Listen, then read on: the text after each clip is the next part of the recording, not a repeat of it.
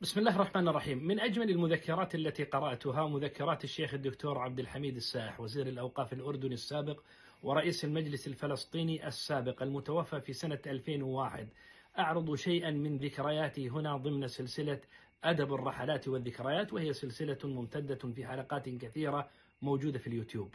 يقول الشيخ عبد الحميد السائح من الأعياد التي كانت موجودة في فلسطين عيد النبي موسى وهو عيد استحدثه صلاح الدين الأيوبي رحمه الله يوافق عيد الفصح عند النصارى.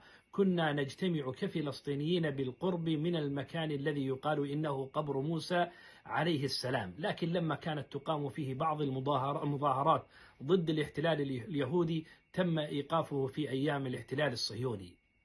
يقول الشيخ عبد الحميد السائح كان حزب الاتحاد والترقي التركي يلزم الفلسطينيين في مدارسهم بتعلم اللغة التركية والتحدث بها ما دام في المدرسة ومن لا يتحدث بها من الطلاب فإنه يوضع في جيبه بطاقة مكتوب فيها سرناف يعاقب الطالب في آخر اليوم المدرسي. فلما جاء الاحتلال البريطاني ألزم الطلاب بالإنجليزية بدل التركية. درس الشيخ عبد الحميد الساحة الدراسة الجامعية في الأزهر فكان يحضر مجالس الشيخ محمد بخيت المطيعي رحمه الله وهو من كبار علماء مصر. فاعترض عليهم مرة في كلمة أخطأ, في أخطأ فيها الشيخ المطيعي فلم يقبل الشيخ هذا الاعتراض. لكن في اليوم التالي وقف الشيخ محمد المطيعي وأوقف الطالب السائح وقال بالأمس أخطأت وغلطت الطالب والصواب مع الطالب وأكبر فيه هذا التواضع.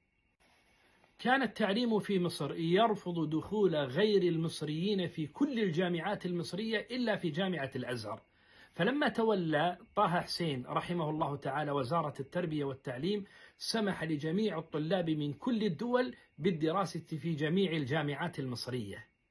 كان اليهود في فلسطين يعيشون قبل الانتداب البريطاني معززين مكرمين بل إن بعض الفلسطينيين العرب كان يتزوج من اليهود منهم حسين النشاشيبي تزوج من اليهود بل إن موسى العلمي لما ولدته أمه وهو فلسطيني مشهور لم تستطع أن ترضعه فأرسلته إلى جارتها اليهودية فأرضعت ولدها فإخوان موسى العلمي من الرضاعة هم من اليهود. في سنة 1930 اجتمع جماعة من الساسة وعلماء العالم الإسلامي وتتفقوا على أن يقوموا بإنشاء جامعة في فلسطين. فكلموا الشاعر محمد إقبال ليعرض الأمر على سلطان حيدر أباد في الهند وكان من الأغنياء فوافق بشرط أن تشرف بريطانيا لأنه تبع بريطانيا على هذه الجامعة. إلا أن الأمر تحول بعد ذلك ليقام فندق أنتر كونتيننتال مكان هذه الجامعة. لما وقع الخلاف بين الملك عبد العزيز والإمام يحيى في اليمن توجه جماعة من علماء فلسطين منهم محمد أمين الحسيني بنية الإصلاح. فرفض الملك استقبالهم وكان استقباله باردا. فلما ذهبوا إلى اليمن ورجعوا مرة إلى الملك عبد العزيز أحسن استقبالهم.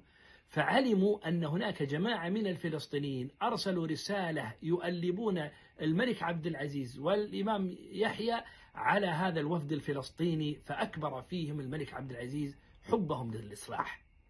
في أيام الانتداب البريطاني على فلسطين وإذا بجماعة من أعيان نابلس يقومون بكتابة عريضة لشركة يقوم عليها يهودي لتوريدهم بالكهرباء فغضب الشيخ عبد الرحمن الحميد السائح كيف تقومون بهذا الأمر ونحن ضد الاستيطان اليهودي؟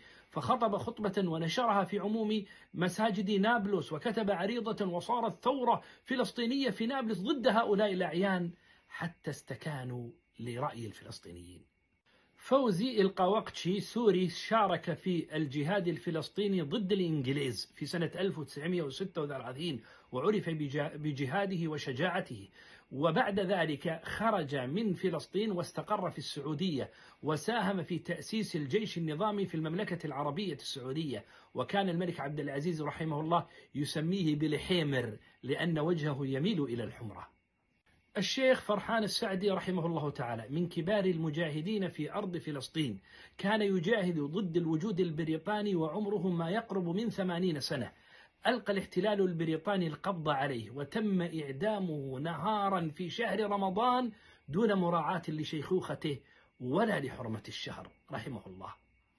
حجز مرة الناشط في فلسطين وعضو حركة فتح صلاح خلف أبو إياد في مطار عربي لكونه لا يحمل تأشيرة دخول إلى هذا البلد العربي. واستغرب أنه حجز معه في نفس الغرفة. كلب أجلكم الله لأن الكلب لا يحمل شهادة خلوه من الأمراض. حجز مع كلب في مكان واحد وكان يريد أن يدور لشرح القضية الفلسطينية. في بداية الاحتلال الصهيوني عرضوا على أرملة الشيخ حسن أبو السعود رحمه الله تعالى أن تبيع بيتها الذي كان بجوار القدس عند باب المغاربة وهو ذو موقع ممتاز إذ إنه يطل على المسجد الأقصى. فرفضت. قالوا لها اطلبي ما شئت فرفضت. جاءها الرئيس الإسرائيلي وعرض عليها ما شاءت من المال فرفضت. فأخرجوها عنوة وحطموا بيتها بالجرافات رحمها الله. هذه بعض اللمحات التي وجدتها في مذكرات الشيخ عبد الحميد السائح رحمه الله تعالى وهي مذكرات ضروري أن يطلع الإنسان عليها لأنها تبين حال فلسطين في تلك الحقبة في الثلاثينات والأربعينات والخمسينات الميلادية. رحم الله الشيخ عبد الحميد السائح ونصر الله أهل فلسطين. اللهم أمين.